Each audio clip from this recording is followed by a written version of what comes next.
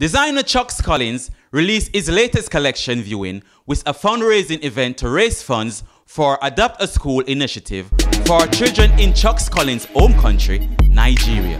The Dreamfall 2017 benefit fashion show and silent auction in collaboration with Ananda Foundation US took place at the Angel Orensanz Foundation in the Lower East Side.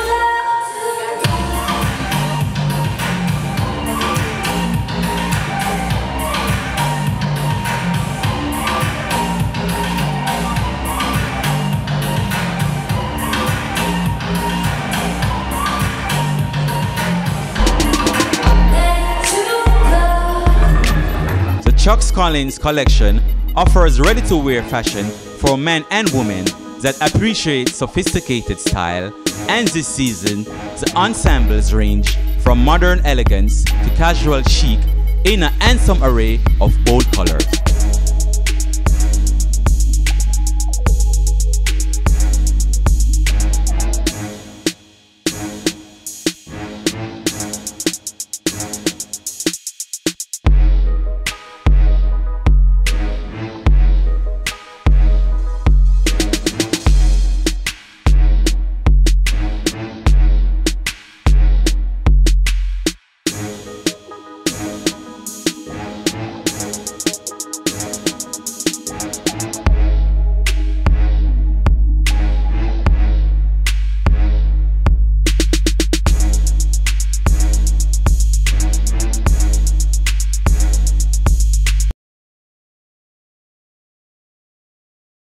So tonight is all about charity, all about giving back. Uh, so this uh, tonight is the end of the fashion week, and for my fashion week collection, I decided to call it the Dream, which is all about inspiration, empowerment of women, and also donating a proceeds to an organization called Owando Foundation.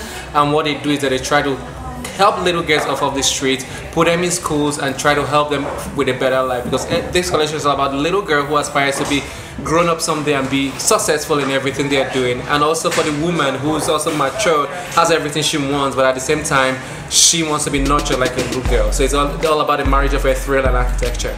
It's all about women empowerment, you know, making women feel beautiful in my garment. Men and women, I just want when you put on my garment, I just want to feel like a certain kind of when really feel empowered, empowered, feel powerful. You know, like the clothes you put on, it shows who you are. Like you, you, you have you put on a clothes and you have like this full self confidence about yourself. Like you just feel good about. It. That's what I want my clothes to do.